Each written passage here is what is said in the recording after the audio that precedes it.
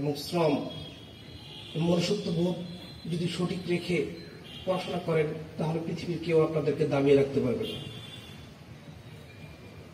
এখন তো যে ভর্তি পরীক্ষা হচ্ছে সেটা সম্পূর্ণ ভাগ্যের উপর নির্ভরশীল। আমাদের প্রথমের দিকে নির্দেশনা ছিল যে ভর্তি পরীক্ষা প্রশ্নপত্র প্রণয়ন করে পরিচালনার জন্য। পরবর্তীতে আমাদের এই লটারি নির্দেশনা আছে। সরকার যে নির্দেশনা দিয়েছে, সেটা আমরা এবং কোনো ধরনের নেপোটিজম হবে না। সেই জন্য আমরা আজকে সকলে তার এই বিদ্যালয়ে একটা অন্যতম আমি যতদূর জেনেছি, প্রায় প্রত্যেকটি বিদ্যালয়ে যোগ্যতম শিক্ষক, শিক্ষিকা আছে, যোগ্যতম প্রধান শিক্ষক আছেন এবং প্রত্যেকটি বিদ্যালয়ের ক্যাম্পাস। আমি আটচল্লিশটা না দেখতে পারলেও মোর দ্যান থার্টি ফাইভ, পঁয়ত্রিশটা উচ্চ বিদ্যালয়ে পরিদর্শন করার সুযোগ হয়েছে সকল বিদ্যালয়ের একান্ত বড় বড়, এই বিদ্যালয়ের অনেক বড় বড় ভবন সৃষ্টি হয়েছে। ভবন তৈরি করা হয়েছে। ছয়তলা, চারতলা, পাঁচতলা ভবন তৈরি করা হয়েছে। তাই প্রত্যেকটি বিদ্যালয়ের সমভাবে পড়ালেখার সুযোগ রয়েছে। তাই আজকে মাত্র আমরা একশো আটচল্লিশ জন শিক্ষার্থীকে সিলেক্ট করব ষষ্ঠ শ্রেণীতে।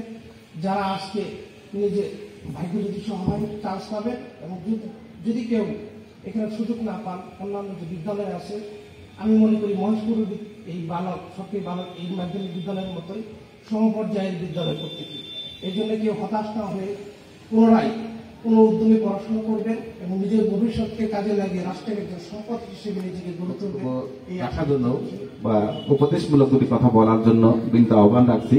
আমাদের মাঝে এই শিক্ষার্থী ভর্তি কমিটির অন্যতম সদস্য মহেশপুর উপজেলা স্বাস্থ্য ও পরিবার পরিকল্পনা কর্মকর্তা ডাক্তার জমির মোহাম্মদ হাসিফুল সরকার রহমান রহিম। আসসালামু আলাইকুম।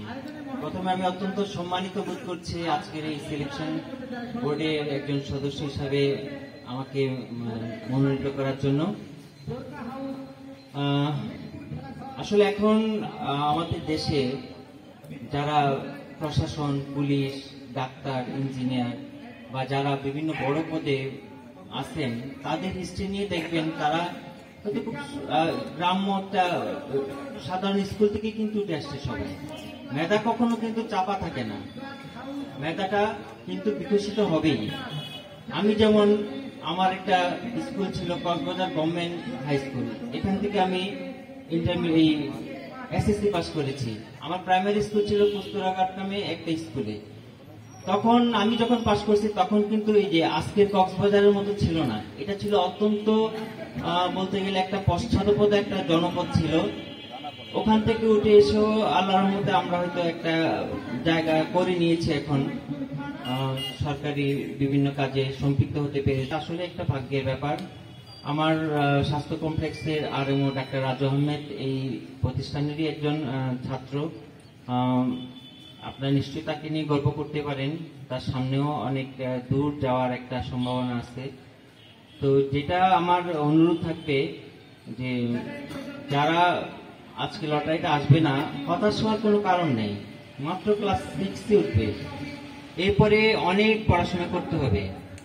আপনারা যদি ঠিক মতো বিশেষ করে অভিভাবকরা অনেক সময় হতাশ হয়ে যায়, সন্তানরা হতাশ হয়ে যায়, অভিভাবকরা অনেক সময় হয়তো সন্তানের উপর একটু নাখুশ হয়। আসলে এখানে এইগুলা কিচ্ছু দরকার নেই।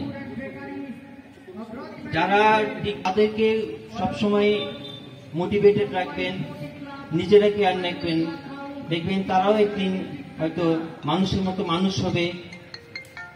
শুধু তো এখন মানুষ হলেই মানে একটা বড় চাকরি করলে হয় না, মনুষ্যত্ব থাকতে হয়। তারাও সরকারি বিভিন্ন দপ্তরে চাকরি করবে বেসরকারি সেক্টরে বড় পদে চাকরি করবে। অনেকে হয়তো উচ্চশিক্ষার্থে বিভিন্ন উন্নত কান্ট্রিতে উন্নত ভার্সিটিগুলোতে ওই উচ্চতর ডিগ্রি পিএইচডির জন্য যাবে।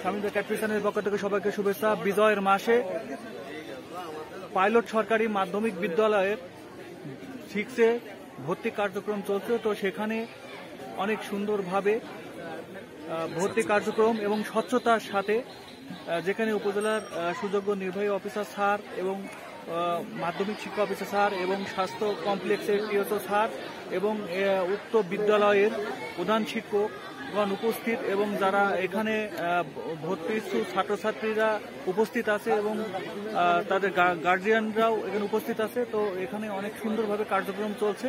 তো সবাইকে অনেক অনেক ধন্যবাদ।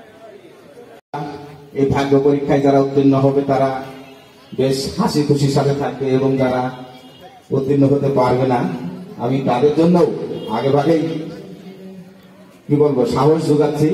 লেখাপড়ার জন্য শুধুমাত্র একটা প্রতিষ্ঠান না, প্রতিষ্ঠান অনেক আছে।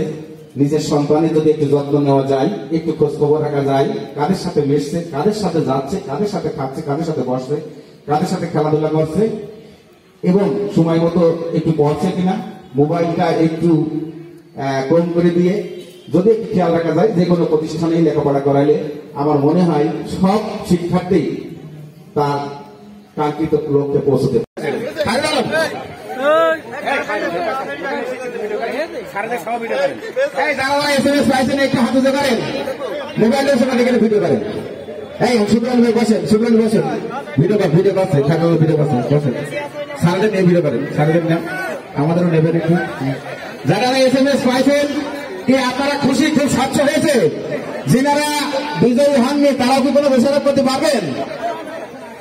হ্যাঁ? এই এই যে, রাজা রাজা খুব খুশি।